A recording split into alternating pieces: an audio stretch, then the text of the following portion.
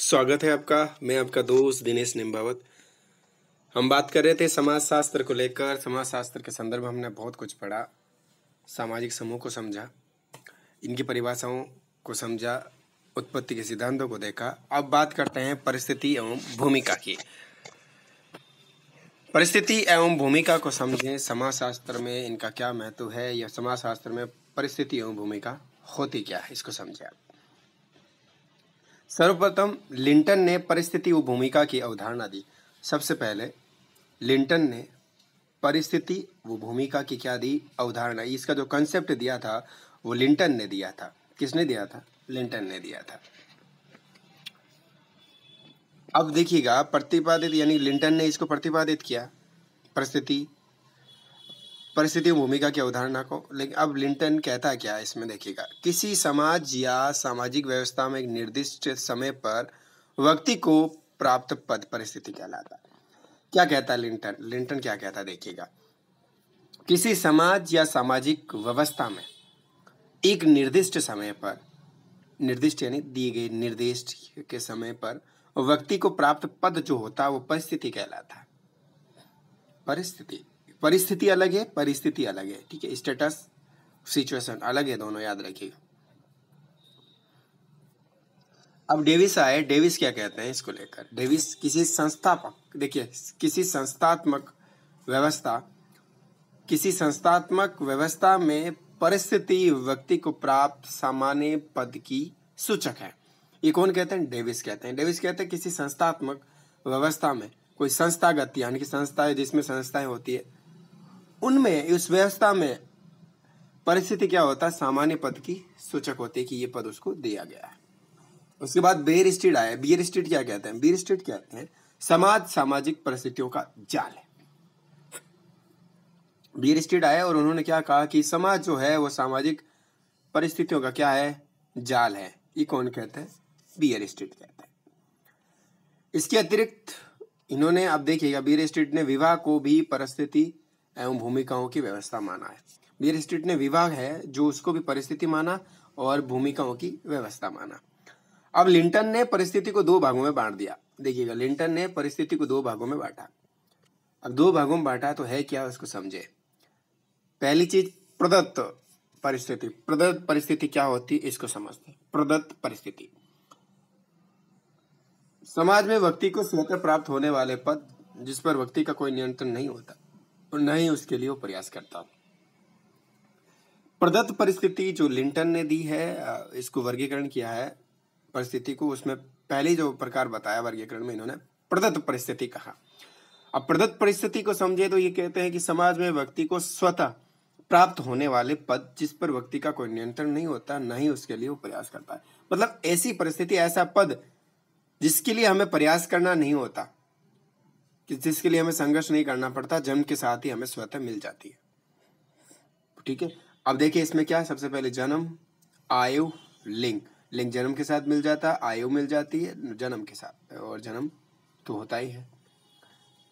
ठीक है? अब जाति प्रजाति, नातेदारी वगैरह जो है, वो प्रदत्त में आती है। उसके बाद देखिए अर्जित। अर्जित परिस्थिति को समझे आप। अर्जित परिस्थिति क्या है? व्यक्ति को प्राप्त वे पद जो गुण व योग्यता के आधार पर प्राप्त होते हैं व्यक्ति के नियंत्रण में होते हैं तथा सब प्रयास या मेहनत से मिलते हैं। कि ये अर्जित के लिए तो हमें मेहनत करनी पड़ेगी। हमारे गुण व्यवहार पर डिपेंड करेगा, अपनी योग्यता पर डिपेंड करेगा, ठीक है? और अपने पे नियंत्रण पर डिपेंड करेगा। इन पर हमारा नियंत्रण होता है, ठीक है? अब बात करें अर्जित परिस्थिति के आधार क्या क्या हम किस किस बेस पर अर्जित जो है परिस्थिति प्राप्त कर सकते हैं? शिक्षा के बेस पर व्यवसाय के बेस पर, विवाह के बेस पर, राजनीतिक सत्ता आदि, ये अर्जित में आता है। ठीक है, अर्जित, जिन्हें हमें अर्जित करना पड़ता है जिसके लिए संघर्ष करना पड़ता है शिक्षा के लिए पढ़ना पड़ेगा, व्यवसाय के लिए मेहनत करनी पड़ेगी, विवाह, राजनीतिक सत्ता के लिए राजनीतिक करनी पड़ेगी, संघर्ष करना पड़ेगा। अब परिस्थिति पुंज क्या होता है? स्टेटस सेट को देखें आप। परिस्थिति पुंज। इसकी अवधारणा भी मर्टन ने दी, लिंटन ने उसकी दी, परिस्थिति की, और मर्टन ने परिस्थिति पुंज की दी। ये डिफरेंस याद रहना चाहिए आपको। परिस्थिति पुंज क्या होता है? ये इसको समझे। परिस्थिति पुंज क्या है? एक व्यक्ति को समाज में प्राप्त होने वाले सभी पदों का योग परिस्थिति पुंज कहलाता है। एक व्यक्ति है उसको समाज में प्राप्त सभी पद उनका योग। व्यक्ति एक है लेकिन समाज में सभी पदों का योग परिस्थिति पुंज कहलाता जे, जैसे कि देखें आप। जैसे कि देखें। एक व्यक्ति है एक व्यक्ति है, किसी का पुत्र भी है, किसी का भाई भी है, किसी का पति भी है, किसी का पत्नी भी है, किसी की पत्नी भी है और या विद्यार्थी भी है। क्या हो गया? इनके क्या है? पद है समाज में। अब इनका जो टोटल योग है वो क्या कहलाएगा? परिस्थिति पुंज कहलाएगा। क्या कहलाएगा? परिस्थिति पुंज चलिए अब बात करते हैं मुख्य परिस्थिति। अब इनमें से मुख्य परिस्थिति क्या? हमने परिस्थिति के पुंज को तो देख लिया। समाज में एक व्यक्ति को दिए गए सभी पदों का योग ठीक है? अब बात कर रहे हैं पर, मुख्य परिस्थिति। इसमें से की स्टेटस क्या है? मुख्य परिस्थिति क्या है उसको देखें। ये दिया हिलर ने मुख्य परिस्थिति प्रतिपादित हिलर द्वारा। अब हिलर इस पे क्या कहता है? अपने परिस्थिति मुख्य परिस्थिति में देखिएगा। व्यक्ति समाज में जिस पद से जाना जाता है मुख्य परिस्थिति कहलाता है। व्यक्ति जो जिस पद से समाज में जाना जाएगा, वो मुख्य परिस्थिति कहलाएगा ये अर्जित परिस्थिति से संबंधित होता है। अर्जित पद जो हमें अर्जन करना पड़ता है शिक्षा, व्यवसाय, राजनीति के रूप में, जो भी, जो जिस पद से हमें समाज में जाना जाता है, वही पद मुख्य परिस्थिति कहलाता है। अब परिस्थिति क्रम श्रृंखला, ये क्या है? इसको देखें। परिस्थिति क्रम श्रृंखला को। स्टेटस, सीक्वेंस क्या है? देखिए, ये दिया मर्टन ने परिस्थिति क्रम मर्टन ने दिया। मर्टन इसमें क्या कहते हैं? एक व्यक्ति अपने सामाजिक जीवन में विभिन्न पदों को उत्तरोत्तर स्टेप बाय स्टेप कह सकते हैं में धारण करता है और क्रम कहलाता है। देखिएगा। परिस्थिति क्रम का मतलब है कि अपने जीवन में स्टेप बाय स्टेप अपने उम्र के अकॉर्डिंग समय के अंतराल के बाद धारण करता है जो पद, वो क्या कहलाते हैं? परिस्थिति क्रम कहलाता है। जैसे कि फॉर एग्ज़ाम्पल हमने लिया, पहले पहले क्या होंगे? शिशु होंगे। फिर वो बालक बनेगा, फिर किशोर बनेगा, फिर यो बनेगा। ये परिस्थिति पुंज हो गया। तो ये परिस्थिति क्रम हो गया। अब बियर स्टेट ने जो कि इसको परिस्थिति को तीन भागों में डिवाइड किया और इस तरीके से बताया। देखिएगा परिस्थिति क्रम को। जुड़ा परिस्थिति ध्रुव परिस्थिति और परिस्थिति संबंध, ये बियर स्टेट ने दिया। पेयर पोलर स्टेटस रिलेशन चलिए बात करते हैं। समाज में कुछ पद जोड़े के रूप में पाए जाते हैं। एक के अभाव में दूसरा अर्थहीन हो जाता है, इन्हें जुड़ा परिस्थिति कहते हैं। देखिएगा। कुछ परि, जो परिस्थितियाँ होती है, वो जुड़ा के रूप में होती है। एक के अभाव में दूसरा निरस हो जाता है, या अर्थहीन हो जाता है। पति पत्नी माता पिता दुकानदार, ग्राहक, ये फॉर एग्ज़ाम्पल के तौर पर हमने लिया। अब देखिए पदानुसंग पदानुसंग को या फिर कार्यालय कहते हैं। कार्यालय पदानुसंग ऑफ़िस। डेविस ने दिया ये इसका प्रतिपादन डेविस ने किया। डेविस क्या कहते हैं? ऑफ़िस। एक पद है जो किसी भी एक पद है जो भी किसी भी औपचारिक संगठन में व्यक्ति को अपने गुण व योग्यता के आधार पर प्राप्त होते हैं। इस पद के अब, जो अभ्यर्थी होते हैं इस पद के भर्ती के नियम होते हैं। योग्यता व सेवा शर्तें भी निश्चित होती है। जैसे सरकारी शिक्षक बनना है, सहकारी डॉक्टर हो गया, प्रधानमंत्री हो गया, आदि मुख्य सचिव जो है, ये ऑफ़िस के इनके मतलब औपचारिक तौर पे होते हैं, इनमें नियम होता है, उनके अकॉर्डिंग काम करना होता है, योग्यता के अकॉर्डिंग इनमें चॉइस होती है लेने की, इसमें जो रिक्वायरमेंट होती है, योग्यता के आधार पर होती है और सेवा शर्तें भी इसमें लागू होती है। चलिए बात करते हैं। अगला है शब्द स्ट्रेटम। आपकी स्क्रीन पर अगला शब्द है स्ट्रेटम। कौन सा शब्द है? स्ट्रेटम। इसको स्त्रित बोला जाता है। स्टेटम भी किसने दिया? डेविस ने। इसका प्रतिपादन किसने किया? स्टेटम का स्थित बोला जाता है। डेविस ने किया इसका प्रतिपादन। अब इसमें क्या? समान पदों से मिलकर बना समूह स्थिर या स्टेटम कहलाता समान पदों से मिला हुआ। पद क्या हो गए? सम्मान जो पदों से मिलकर बना हो, जो समूह होगा, वो क्या कहलाएगा? स्त्रित कहलाएगा। मतलब स्टेटम कहलाएगा। समाज में इन पदों की समान प्रतिष्ठा होती है।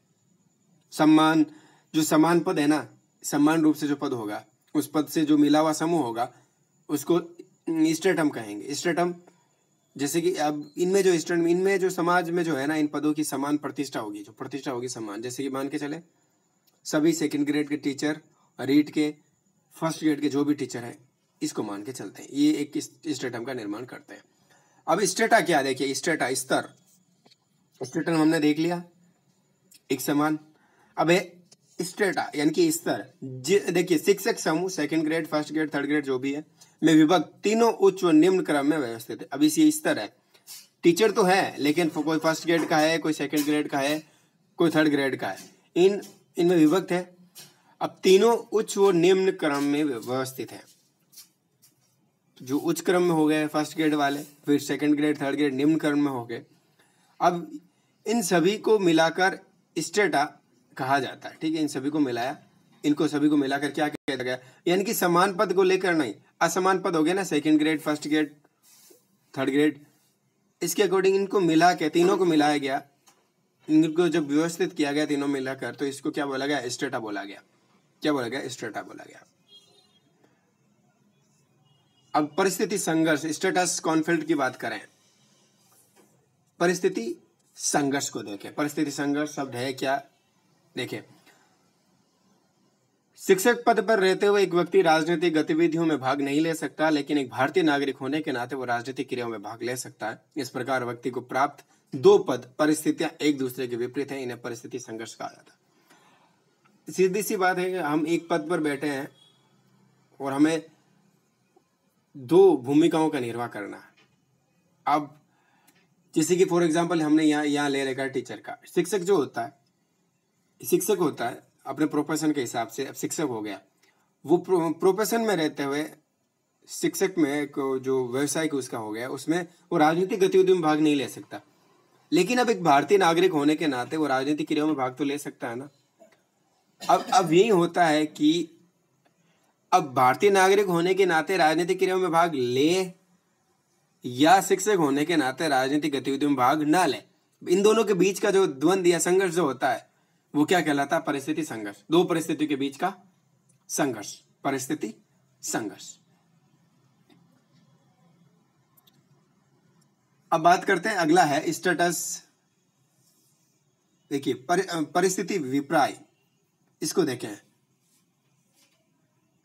अब स्टेटस रिवर्सल्स ठीक है? इसको देखें आप। स्टेटस रिवर्सल्स को देखें तो ये क्या है? परिस्थिति विपर्य। इसको देखें। परिस्थिति विपर्य। भारत में राष्ट्रपति सर्वोच्च पद पर है। आप इसे देखिएगा, समझिएगा अच्छे से। विपर्य का मतलब कैसे? है परिस्थिति विपर्य कैसे है? भारत में राष्ट्रपति पद जो है ना, वो क्या है? सर्वोच्च पद है।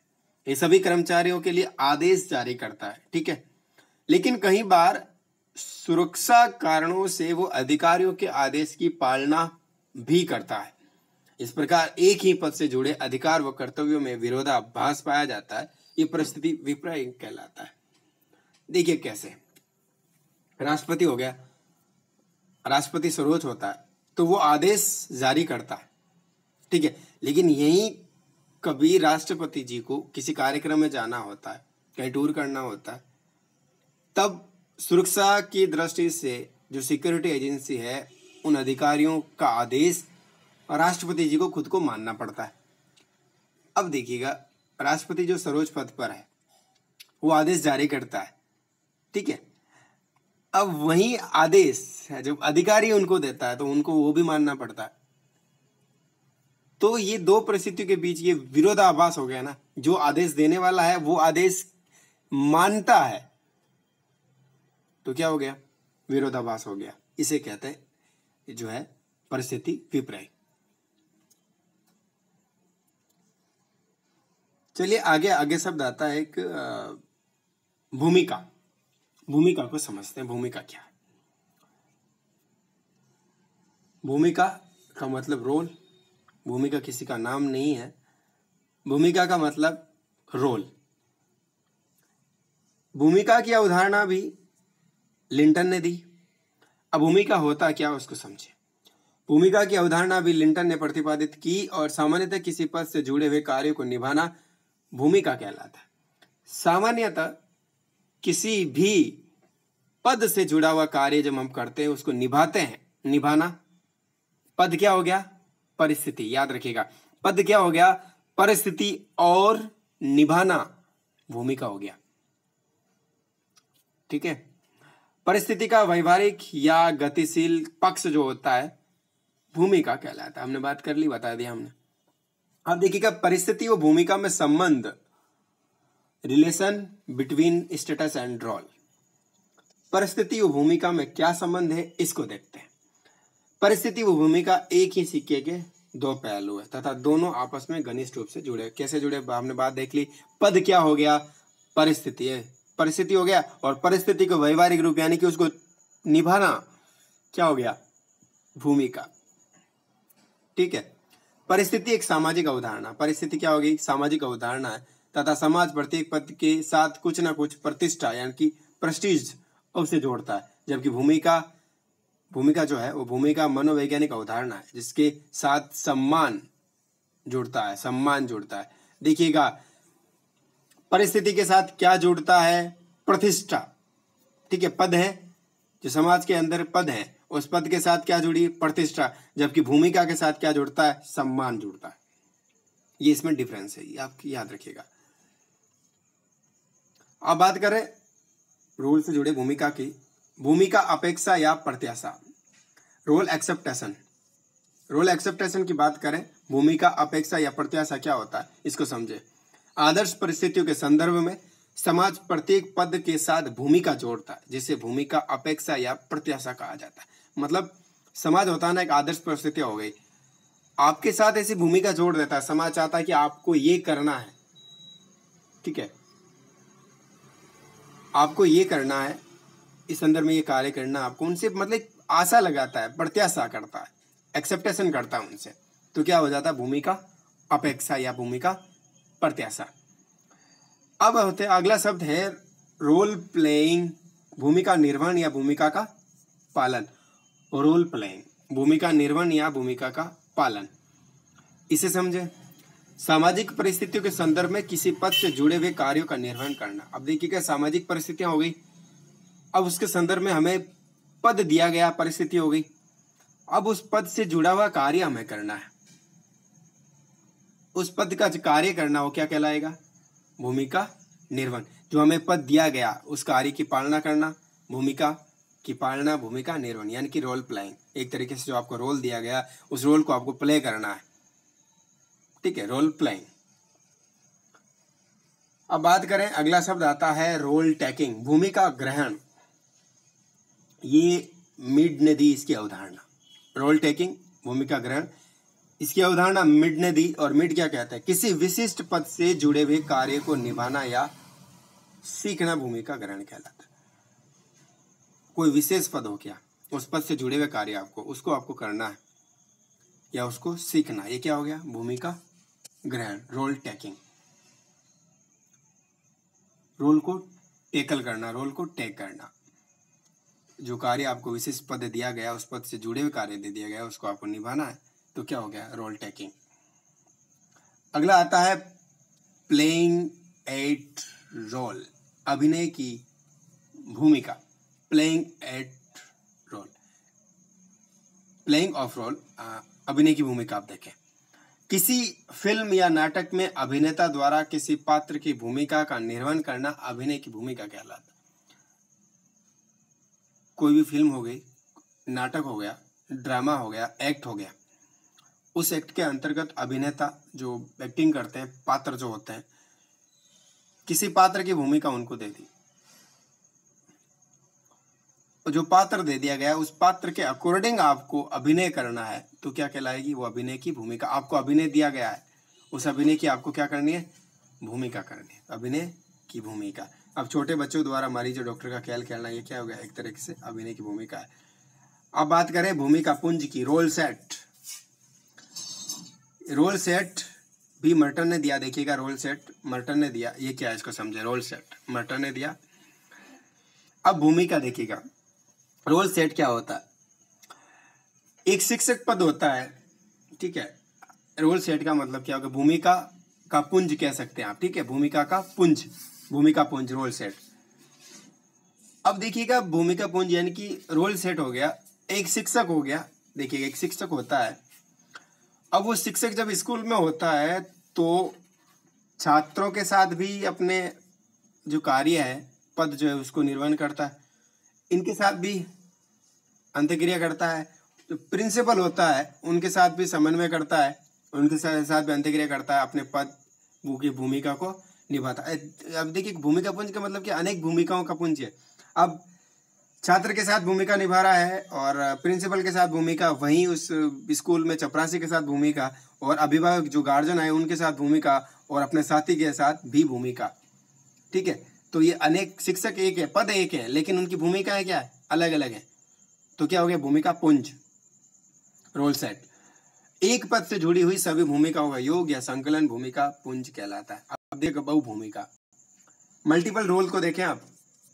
मल्टीपल रोल एक व्यक्ति को प्राप्त सभी पदों से जुड़ी हुई सभी भूमिकाओं का योग होता है, देखिएगा। एक व्यक्ति को प्राप्त सभी पदों से जुड़ी हुई, एक व्यक्ति को प्राप्त, ठीक है। एक व्यक्ति व्यक्ति को केवल एक है।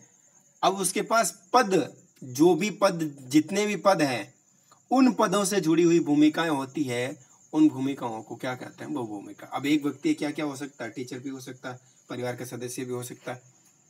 तो देखिएगा, आप देखिए आप देखें, नीचे की तरफ़ देखते हैं, आप थोड़ा नीचे आते हैं। दूसरे शब्दों में सभी भूमिकाओं का जो पुंज है, वो योग, जो हमने भूमिका देखी ना, सभी भूमिकाओं का पुंज है ना, भूमिका पुंज का योग एक तरीके से कह दें, क्योंकि भूमिका पुंज हमने क्या कहा? एक पद से जुड़ी हुई भूमिका है उनका योग, ठीक है, एक पद से जुड़ी हुई जो है। इसमें, लेकिन इसमें क्या बोला? इसमें बोला है कि सभी पदों से जुड़ी हुई सभी जो अलग अलग पद हैं, उन सभी पदों से जुड़ी हुई भूमिकाओं का योग। तो एक तरीके से जो सभी भूमिका पुंज है ना, उनका योग क्या कहलाएगा? बहु भूमिका कहलाएगा। अब चलिए, आप देखते हैं इसको आपके देखिए स्क्रीन पर। देखिएगा, अब जो होता है, एक व्यक्ति सबसे पहले क्या है? टीचर है। क्या है? टीचर है। अब टीचर है तो वो छात्र से भूमिका अदा कर रहा है, निर्वाह कर रहा है, अभिभावक से कर रहा है, चपरासी कर रहा है। अब वही टीचर घर में क्या है? माँ है। अब माँ है तो वो पुत्र के साथ भूमिका का निर्वाह कर रही है और पुत्री के साथ भी भूमिका का निर्वाह कर रही है। अब एक पत्नी है, वही वही शख्स, वही व्यक्ति, अब पत्नी है। पत्नी है तो पति के साथ, सास के साथ और ससुर के साथ अपनी भूमिका का निर्वाह कर रही है। तो ये क्या कहलाएगा? मल्टीपल रोल ये जा, एक व्यक्ति ज़्यादा रोल भूमिकाएँ कर रहा है। ये अनेक पदों पर, सभी पदों पर, अनेक पदों पर उनकी पदों की अलग अलग भूमिकाओं का निर्वाह कर रहा है। ये हो गया आपके, ठीक है, ये हो गया बहुभूमिका। भूमिका दूरी, एक शब्द आपकी स्क्रीन पर, भूमिका दूरी रोल डिस्टेंस जब व्यक्ति एक पद पर कार्य करके, जब थक जाता है या निरस्ता का अनुभव करता है तो वो कुछ समय के लिए उस पद से जुड़ी भूमिकाओं से दूर हट जाता है।